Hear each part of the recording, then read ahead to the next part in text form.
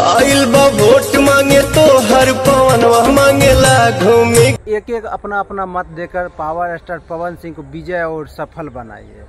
ठीक है, चलिए हम बात करेंगे मुद्दे पर। मुद्दा पर हम बात करेंगे। पावर स्टार पवन सिंह कारा काट के एक एक जनता से, एक एक लोगों से हम समझाने का प्रयास करेंगे। एक एक लोगों से पावर स्टार पवन सिंह है कि अपने वोट को मांग रहे हैं।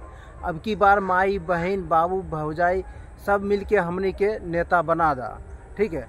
क्या आपको लग रहा है कि पावर स्टार पवन सिंह अब की बार नेता में जा सकते हैं, यानी कि नेता बन सकते हैं?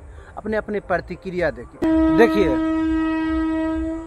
देखिए, क्या है कि हम आपको बताना चाहेंगे, भोजपुरी के तमाम ऐसे कलाकार हैं जो कि नेता लीडर में सम्मिलित हो रहे हैं।